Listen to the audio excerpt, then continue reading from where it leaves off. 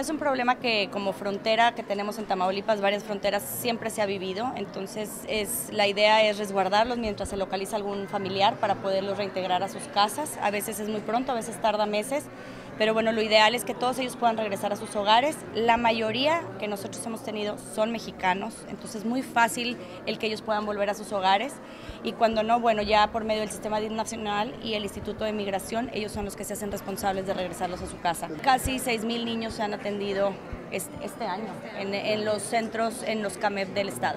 Pues la verdad que según la temporada es cuando aumentan o bajan las cifras. Ahora con todo lo de la caravana, bueno, pues sí han llegado unos más, pero no, no como, no, todavía ninguna cifra que sea algo que no podamos controlar. Está todo este, trabajándose con los sistemas municipales y con los gobiernos municipales, entonces bueno, están siendo atendidos y la idea es que pues regresen a su casa, eso es lo que queremos.